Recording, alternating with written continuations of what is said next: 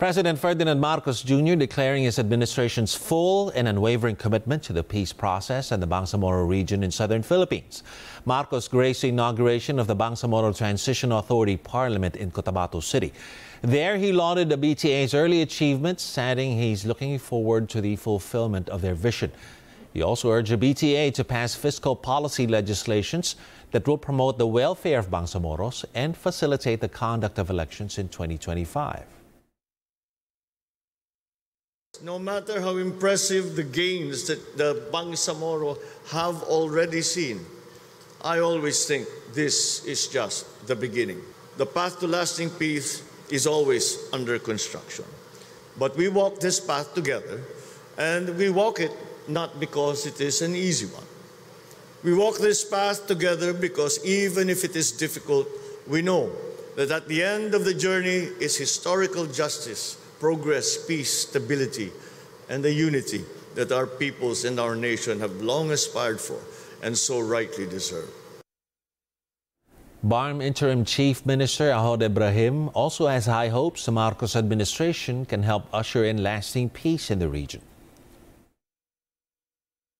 Notwithstanding some of the significant accomplishments we have achieved so far, there are still many development and transition challenges that we need to overcome. The peace process started during your father's time, and it would be a fitting end to this long journey if we could complete the process during your administration, Mr. President, you will, you will have our full support, and together we will make the successful implementation of the Bangsamoro peace process as one of your greatest legacies.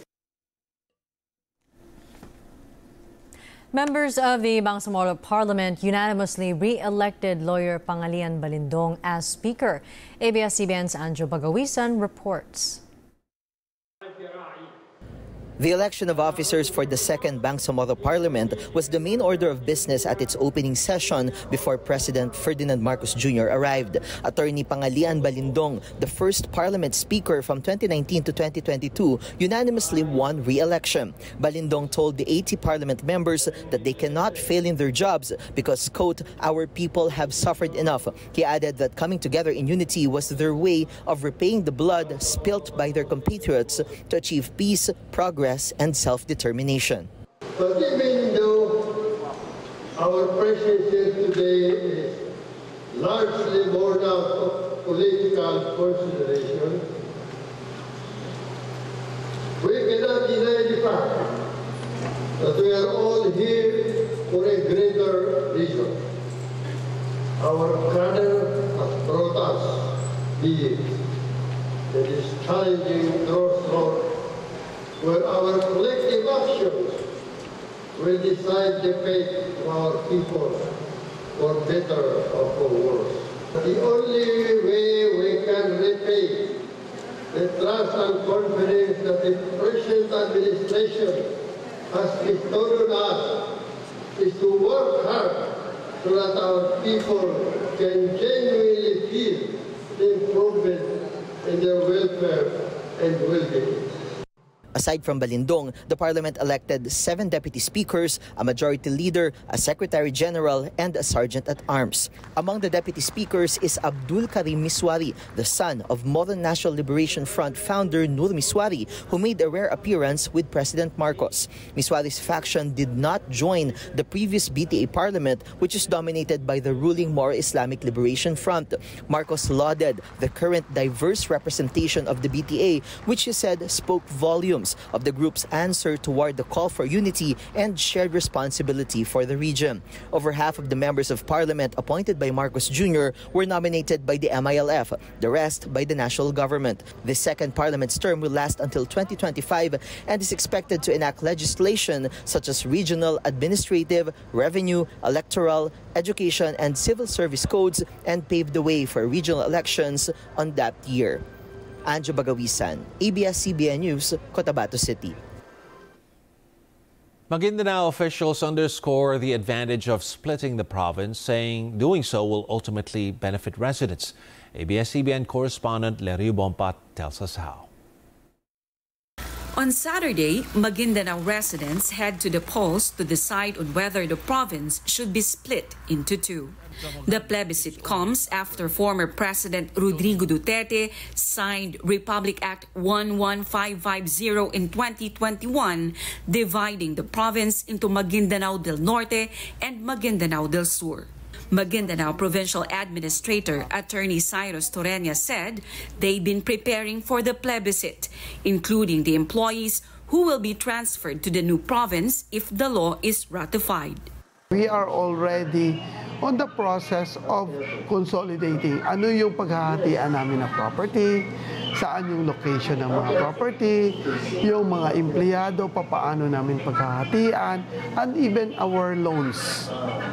Mayroong paring hatian. Maguindanao officials say if the law is ratified, this will boost the delivery of services to local residents. Pagka smaller area yung concentration ng mga leaders, at least uh, meron tayo nakikita na positive development. Uh, kasi they can they can uh, they can plan more on the needs of the of the individual uh, uh, municipalities. But opinions differ on who will be the new set of leaders if the split happens. Sa Delsor, seat na yun, yung existing ngayon, sila na. Mabawasan lang yung kanilang board member. And they will have a new uh, uh, vice governor. Under the law, itong law na 11550, uh, ang sinabi dito, doon sa Delsor, the board member who has the highest vote during the past election, uh, who is a resident of uh, uh, the second district, uh, shall become the uh, vice governor. But he will still be appointed by the president. As of today, nasa legal office pa namin, pinag-aaralan pa ng mga abogado kung paano yung process, sino mag-appoint, uh, paano yung process, um, base doon sa law at saka sa legal precedents. COMELEC has already inspected voting centers. Official ballots and other supplies have already been distributed to municipal treasurers. COMELEC officials, security forces, and the provincial government of Maguindanao have met for the final assessment and deployment plan meeting, which was held in Buluan, Maguindanao.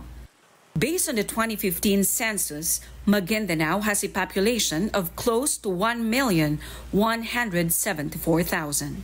Lirio Bompad, ABS-CBN News, Maguindanao.